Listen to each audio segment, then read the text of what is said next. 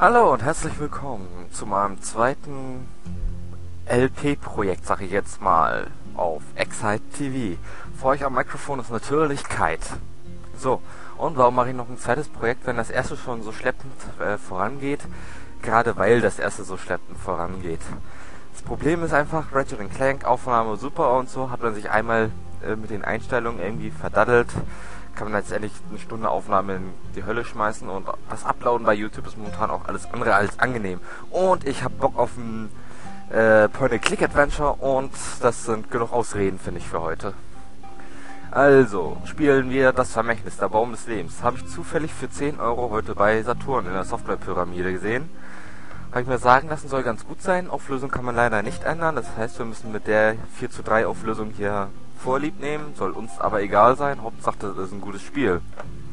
Ich werde in Zukunft häufiger Point-and-Click-Adventure auf dem PC zeigen, gerade weil der gute Exa, dessen Bereicher der PC ist, keine Point-and-Click-Adventure mag und ich die nicht zu kurz kommen lassen möchte. Es gibt so viele geile Point-and-Click-Adventure. Naja, egal. Machen wir mal ein neues Spiel. Ich habe jetzt gar, kein, gar nicht auf die Zeit geachtet, leckt mich.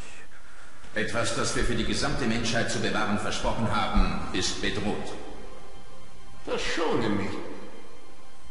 Wer ist es diesmal? Omega. Ich habe dir gesagt, wir sollten ihn niemals alleine lassen. Kann er wirklich nicht einer von uns werden? Dafür ist es zu spät. Und jetzt? Was sagt ihr? Einverstanden. Nun denn, tu es.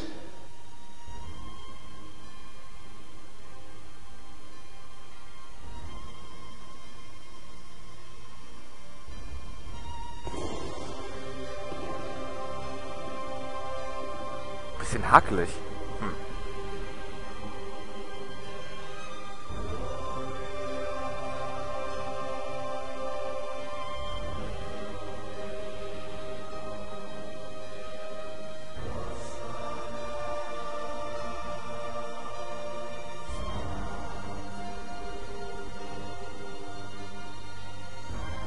City Interactive derbe.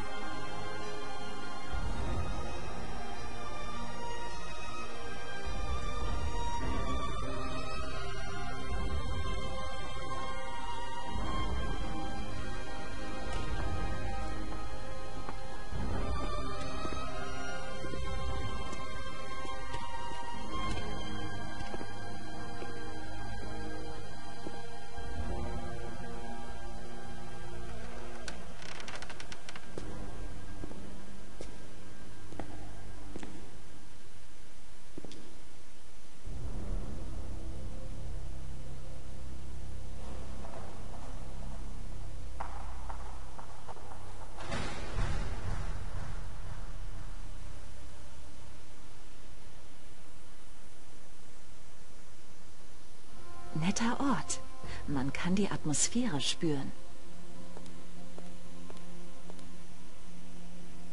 Ich bin froh, dass Sie gekommen sind. Meiner Meinung nach haben wir den Nagel auf den Kopf getroffen, als wir Sie einluden, für uns zu arbeiten. Schön zu hören. Ich werde Sie nicht enttäuschen. Dann lassen Sie uns auf den Punkt kommen. Früher war dies Marcells Arbeitsplatz, jetzt steht er Ihnen zur Verfügung. Hat mein Vorgänger Sagen Sie einfach Marcel. die Sachen katalogisiert? Ja, er hat die Kiste geöffnet, aber sie unglücklicherweise vor seinem Tod wieder verschlossen. Marcel ist tot? Das tut mir leid. Das wusste ich nicht. Eine Tragödie. Ich wollte das nicht früher erwähnen, damit Sie nicht den Eindruck bekommen würden...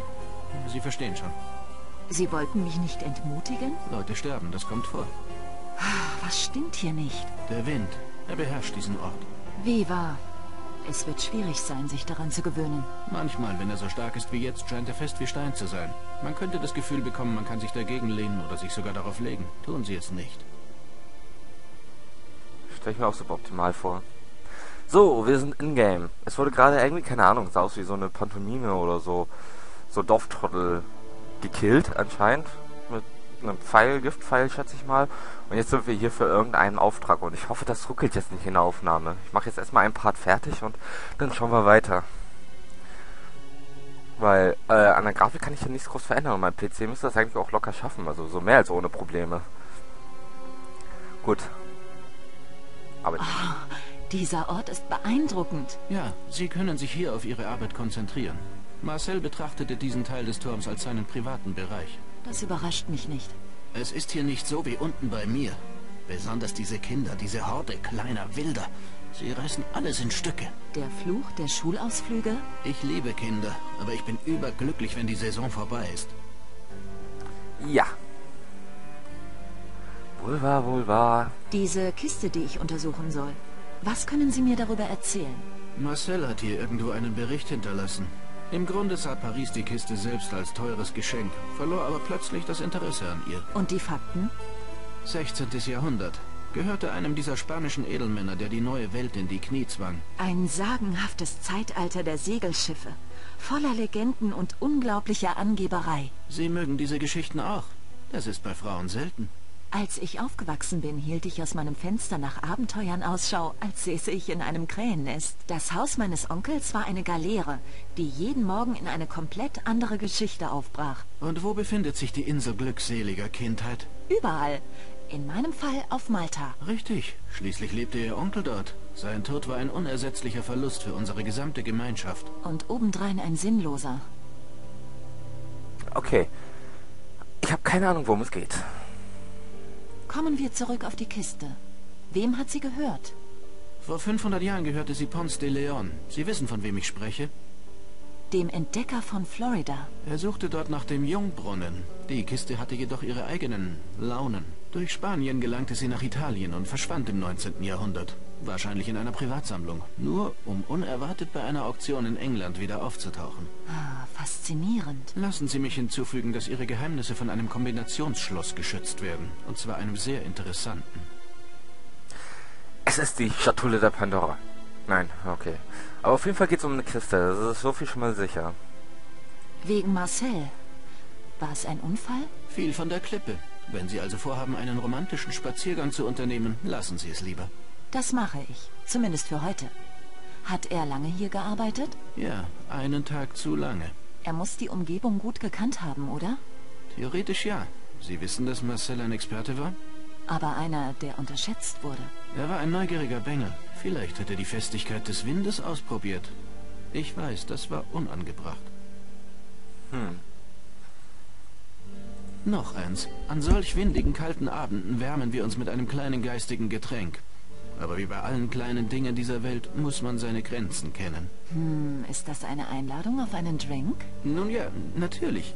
Vielleicht heute Abend? Danke, aber nein. Ich möchte mich heute Abend gerne ausruhen. Entschuldigung. Ich schätze, das war ein wenig plump. Schon gut. Können Sie mir etwas über das Team erzählen? Die meisten sind im Urlaub. Außer uns beiden gibt es noch Antoine, den Hausmeister, und Claire, die Restauratorin. Mhm. Sind wir in Venedig oder was? Nur noch eins. Ja? Ich bin eigentlich heute nur hier, um das Land auszukundschaften. Ich komme morgen nach Hause und gehe dann für eine Lesung nach Venedig. Es wird ein paar Tage dauern. Ja, richtig. Jetzt fällt es mir ein. Sie promoten Ihr Buch. Kann ich mit einem Exemplar mit Ihrem Autogramm rechnen? Natürlich, sobald ich aus Venedig zurück bin. Die ganze Auflage befindet sich in Italien. Perfekt. Sie haben mich so neugierig gemacht, dass ich am liebsten noch heute mit meiner Arbeit anfangen würde. Dann könnte ich alles auf meiner Reise überdenken. Na, ich wusste, dass Sie den Köder schlucken würden. In dem Fall werde ich Sie nicht länger aufhalten. Sollten Sie Hilfe benötigen, wissen Sie, wo Sie mich finden können. A. Wo finden wir dich? B. Wer sind wir? C. Wo sind wir? D. Wer bist du? E. Gibt's noch was zu essen? Das wären schon mal die wichtigsten Fakten. F. Warum schlägst du Alkohol raus? Das ist da jetzt Alkohol. Der will dir einen Drink spendieren und du sagst, nein, das ist doch nee. Danke. Ich sehe mich mal um. Bis später. So. Who the fuck are you? Das Refugium eines Entdeckers und eines Schatzjägers. Wie aufregend. Nur der voll moderne Technikkram passt da irgendwie so gar nicht zu. Moment mal. Ah, hier kann ich mir alles anzeigen lassen. Das ist gut. Das ist so, also fangen wir mal mit dem Fotokopierer an. Schauen wir uns an. Ja. Hallo, ich habe nichts zu kopieren, oder? Ach, beschwer dich nicht. Ich muss sie sauber machen, bevor ich irgendetwas kopieren kann. Habe ich sowas wie ein Inventar? Ja, aber da ist nichts drin. Schade.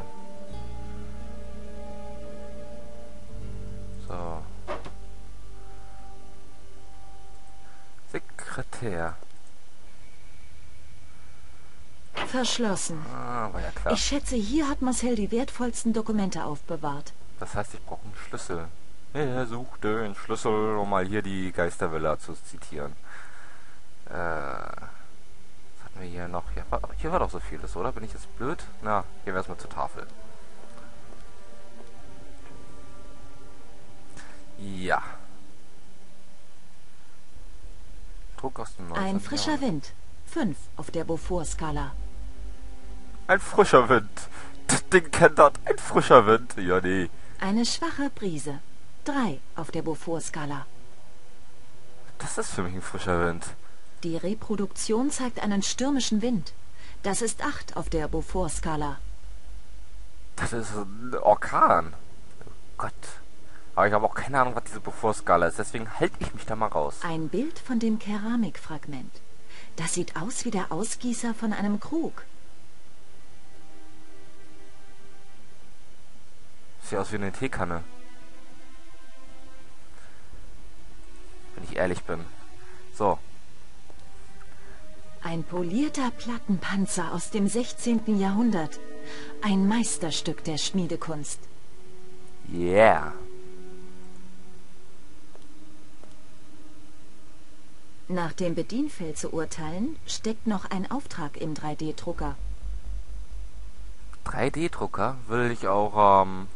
Nach dem Bedienfeld zu urteilen, steckt noch... Ach, Schnauze. Kann ich... Oh. Was habe ich denn hier oben? Notizbuch. Moment.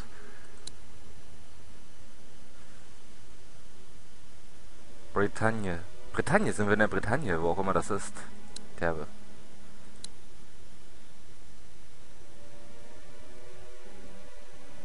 Ah, hier kann ich alles nochmal durchlesen. Das ist gut. Wir sind Sylvie, Sylvie Leroux. Okay, und das ist ein Museum, in dem wir sind. Das muss man auch erstmal alles drauf kommen. Journal, Dokumente, Pass. Brauche Pass. ich für Auslandsreisen. Sylvie Leroux. Also wir sind Franzosen. Das ist schon mal gut zu wissen. Hallo? Kann ich auch... Achso, da ist ein Kreuz. Ja. Aha. Nee, was haben wir hier? Achso. Spiel fortsetzen. Speichern und so können wir alles. Derbe, aber ich kann... Nach dem Be Ja, dann... Hier, druck mal schön, ne? Kann aber auch nicht irgendwie meinen Mauszeiger ändern. Okay. Es soll wohl noch nicht sein. Okay. Fenster zur Bucht. Das ist mal ein Platz, wie ich ihn liebe. Der Geruch von Holz, Steinmauern, Büchern und von einem Geheimnis, das darauf wartet, entdeckt zu werden. Ja, nee, ist klar. Also grafisch so schlecht sieht das gar nicht aus, finde ich. Also ist halt nicht zeitgemäß, aber äh, es gibt durchaus hässlichere Dinge. Eine Liste der Gegenstände in der Kiste? Das sollte ich überprüfen. Pistole aus dem 16. Jahrhundert, Schlüssel, Ladestock und antikes Keramikfragment. Das Fragment haben wir, denke ich mal, dann ja schon... Kann ich nicht wieder reinziehen? Nee. Das Fragment haben wir, denke ich mal, ja im 3D-Drucker dann schon gesehen. Eine Liste der Gegen... Kann ich den nicht... Oh Mann. Okay. Ah. So schöne Ornamente auf dem Deckel. Ich schätze, diese Scheiben sind Teil eines Kombinationsschlosses.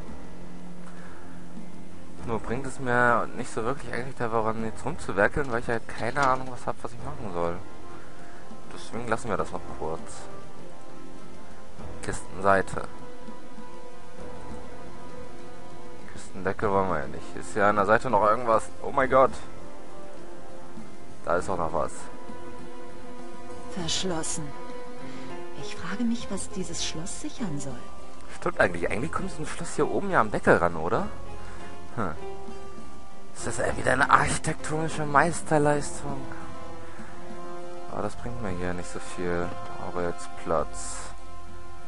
Kann ich jetzt mit dir was anfangen? Kann ich auch nur betrachten.